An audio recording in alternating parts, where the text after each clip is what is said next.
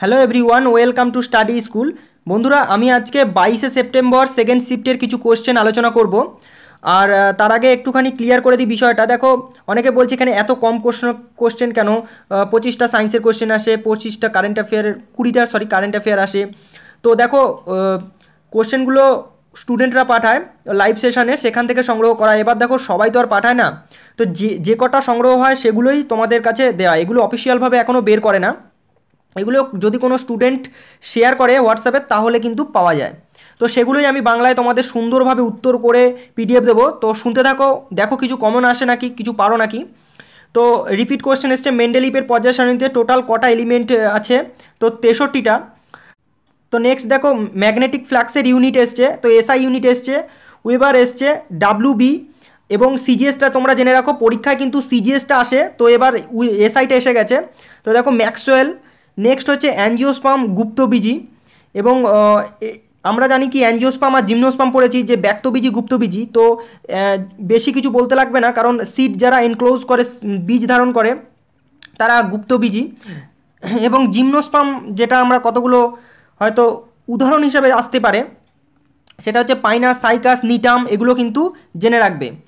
Next দেখো, boron কোন ফ্যামিলির আধুনিক পর্যায় সারণীর তো তেরোতম এবং নেক্সট আসছে দেখো মানবদের সবচেয়ে বড় পেশি। তো পেশি এসছে এবং তারপরেও আমি কিছু তিনটে দিয়ে দিয়েছি। পেশি হচ্ছে গ্লুটিয়াস ম্যাক্সিমাস যেটা আমি ছবি তোমাদের দিয়ে দিয়েছি। দেখতে পারো কোথায় আছে এই পেশিটা। এছাড়াও সবচেয়ে বড় নার্ভ আমি এটা অ্যাডিশনালভাবে দিয়ে দিয়েছি। তোমরা জেনে রাখো, এটা অবশ্যই দেবে সায়াটিক নার্ভ আর দেখো, তারপরে দিয়েছি সবচেয়ে বড় হাড়, এটা কিন্তু অলরেডি চলে এসছে রিপিট কোশ্চেন ফিমার আর সবচেয়ে বড় অঙ্গ, এটা কিন্তু প্রথম দিন ফার্স্ট শিফটে চলে এসছে, চামড়া। যদি চামড়া না থাকে, তাহলে অন্য দেবে তোমরা যকৃত দেবে, সেটা আলাদা। কিন্তু চামড়া যদি অপশনে থাকে, তাহলে চামড়া দেবে। তো অলরেডি পরের দুটো চলে এসছে, তো সবচেয়ে বড় নার্ভ জেনে রাখো, এটাও কিন্তু আসতে পারে সায়াটিক নার্ভ দেখো, তারও ছবি দিয়ে দিয়েছি আমি। নেক্সট দেখো ভিটামিন বি টুয়েলভের রাসায়নিক নাম এসছে, তো সায়ানোকোবালামিন এবং এটা আমি অনেকবার আমার সায়েন্সের টিউটোরিয়াল আলোচনা করেছি। তো এটার সম্বন্ধে আর একটা কোশ্চেন আসতে পারে ডিরেক্ট এখানে এর রাসায়নিক নাম জানতে চেয়েছে। তো কোবাল্ট মনে রাখবে কোন কোন এলিমেন্ট থাকে, এটা একটা কোশ্চেন আসে। তো কোবাল্ট কী করে মনে রাখবে? সায়ানো কোবালামিন সায়ান আর কোবাল্ট থাকে। কোবাল্টের সঙ্গে কোবালামিনের একটা সম্পর্ক আছে, এভাবে তোমরা মনে রাখতে পারো। ফুলের মেল রিপ্রোডাক্টিভ অর্গান খুব ইজি কোয়েশ্চেন স্ট্যামেন বা পুঙ্কেশ্বর চক্র আর ফিমেল রিপ্রোডাক্টিভ অর্গান আমরা জানি গর্ভকেশ্বর চক্র। নেক্সট দেখো, এসছে অ্যাকোয়ারিজিয়া বা অম্লরাজের পিএইচ প্রায় জিরোর কাছাকাছি। আর অম্লরাজ বা অ্যাকোয়ারিজিয়া কি?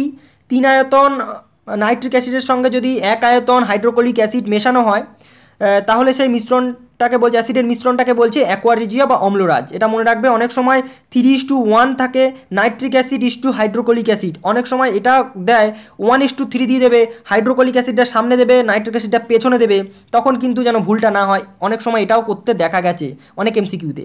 ঠিক আছে? তখন কিন্তু ওয়ান ইস টু থ্রি থাকবে hydrochloric acid is to nitric acid. তো এটা একটু লক্ষ্য করবে নাইট্রিক অ্যাসিডের পরিমাণটা বেশি থাকে। ঠিক আছে?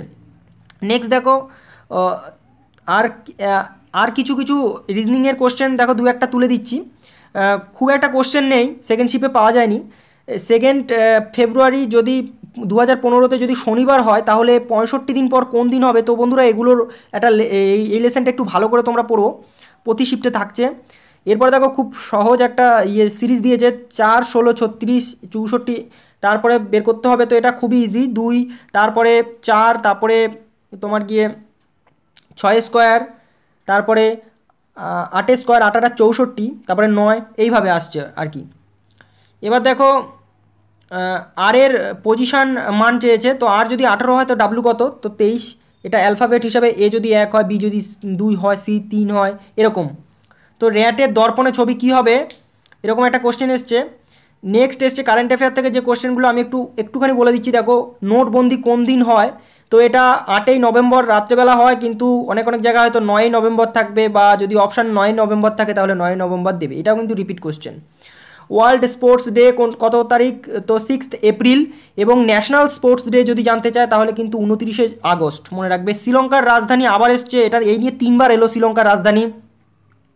আর অস্ট্রেলিয়ার রাজধানী দুবার এসছে আর শ্রীলঙ্কার রাজধানী এই নিয়ে তিনবার এলো। মনে রাখবে রিপিট কোশ্চেন সিইও আমি একটা ভিডিও বলেছিলাম, এই গুগলে সিইওটা সিইওটা বাকি ছিল, তো এটাও চলে এসছে সুন্দর পিচাই। আর মাইক্রোসফটের সিইও সিইও কিন্তু সত্যে নারেলা এটা মনে রাখবে, এটা আসবেই, ধরে নেওয়া যায়। আর সত্য নারেলার একটা বই, এটা কিন্তু খুব ইম্পর্টেন্ট হিট রিফ্রেশ মনে রাখবে, এটাও পরীক্ষায় দিতে পারে।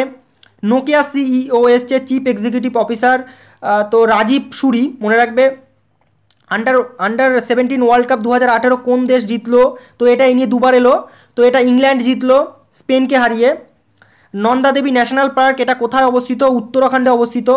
নেক্সট হচ্ছে মুস্তাক আলী ট্রফি দু হাজার আঠেরো, কে জিতলো? অনেক সময় প্রশ্ন আসে, মুস্তাক আলী ট্রফি কোন খেলার সঙ্গে যুক্ত? তো দিল্লি, রাজস্থানকে হারিয়ে জিতলো। নেক্সট কলকাতা কোন নদীর তীরে অবস্থিত? ইজি কোয়েশ্চেন আর অঙ্ক থেকে দেখো, এই কটা দেখেছি, বীজগণিতের কিন্তু অঙ্ক দিচ্ছে। অনেক অনেক পিএসসির কোশ্চেনে দেখবে বীজগণিতটা কম থাকে, কিন্তু রেলের যে সিলেবাস সেখানে দেখবে পরিষ্কারভাবে জানানো আছে বীজগণিত। তো বীজগণিতের এই অঙ্ক কিন্তু একটা থাকবে, এটা ধরে নিতে পারো। আর এইচ সিএফ এসছে চুয়ান্ন, ছেষট্টি, নব্বই, আর এই রুটের অঙ্কটা এসছে, আর অনুপাত থেকে একটা কিন্তু অঙ্ক এসছে। তো এই হলো সেকেন্ড শিফটের যে কটা সংগ্রহ করতে পেরেছি। তো বন্ধুরা, তোমরা এখান থেকে প্ল্যান তৈরি করো স্ট্র্যাটেজি তৈরি করো, দিয়ে তোমরা পড়াশোনা করো। থ্যাংক ইউ সো মাচ বন্ধুরা, ভিডিওটা ভালো লাগলে লাইক করো। আর অবশ্যই বন্ধুদের সাথে শেয়ার করো।